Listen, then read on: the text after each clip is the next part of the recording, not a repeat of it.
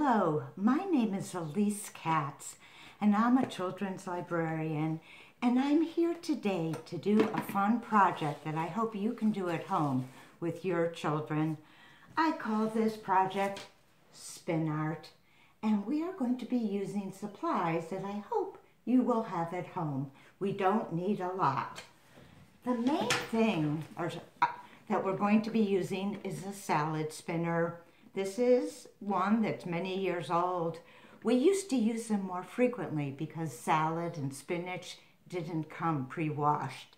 But now we can buy our greens pre-washed and so you might want to dedicate this spinner to craft projects. It has a lid that you spin like that. There's a basket that we used to put the greens in with water and then the container that holds it all.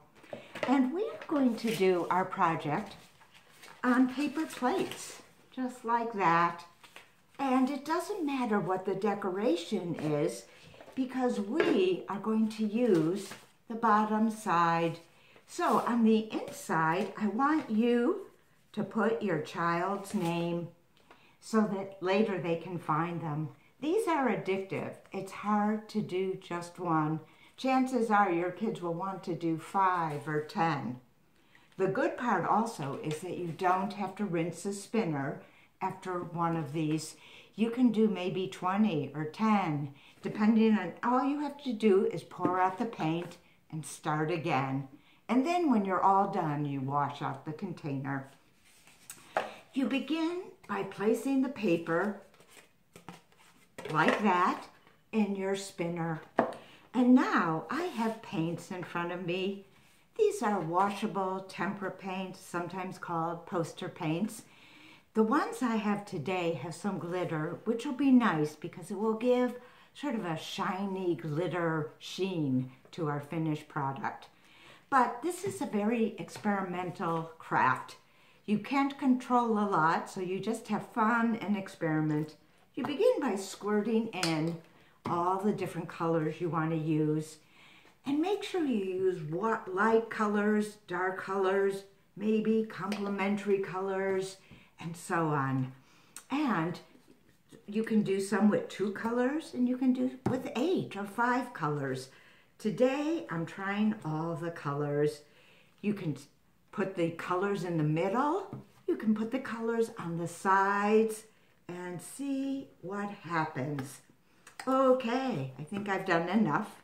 I'm going to show you what this looks like. Okay, next part, we're almost done. You take the lid and you put it on securely. And if your children want to spin, make sure that you hold the container and the lid securely. And you just spin.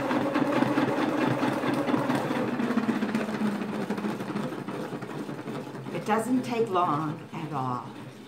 So let's see what we got. It's very good to have a pencil or something like that. And you lift it out and there is your artwork.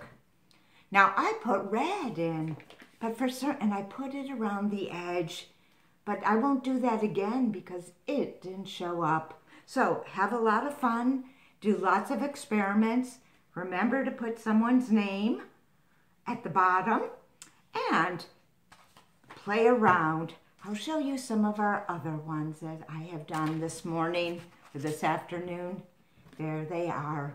So, tempera paints you can buy at a local craft store online. They're not expensive. They're washable. And paper plates you can get at the grocery store. And maybe you have a salad spinner sitting in your cabinets.